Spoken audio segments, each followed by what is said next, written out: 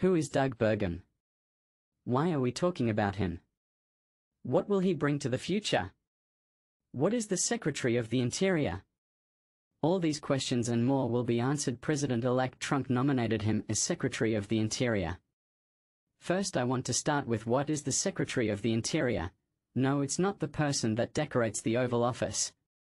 The Secretary of Interior oversee the management of federal land, which includes national parks, wildlife refuges, and vast areas used for oil and gas production.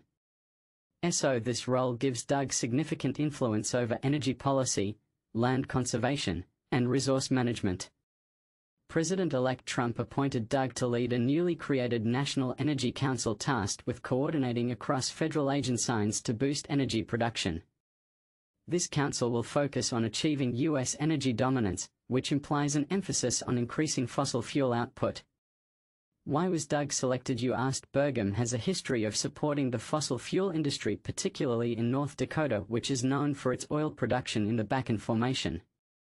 His policies could lean towards expanding drilling leases of federal potentially increasing oil gas and coal production.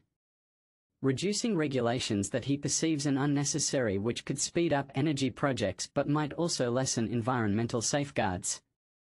Public land management his approach might involve promoting more active use of public lands for economic activities like mining or drilling which could be seen as whether economically beneficial or environmentally harmful depending on one's perspective some environmental groups express concern over the potential for exploitation of public lands for profit, fearing less focus on conservation.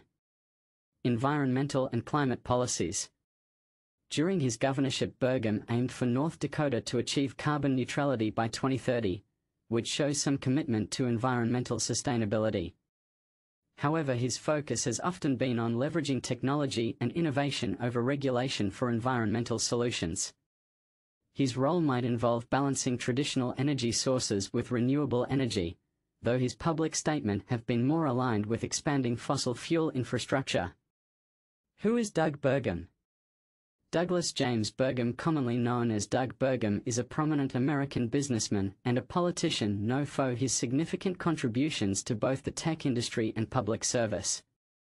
He was born on August 1, 1956 in Arthur, North Dakota. Burgum's life journey forms small-town upbringings to key political figure in the United States is marked by entrepreneurial spirit, business acumen and a commitment to public policy.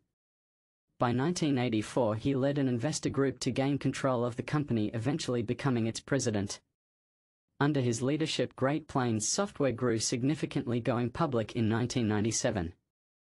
In 2001, Burgum sold the company to Microsoft for approximately $1.1 billion a deal that not only highlighted his business prowess but also marked a significant point in his career transition from Silicon Valley to North Dakota,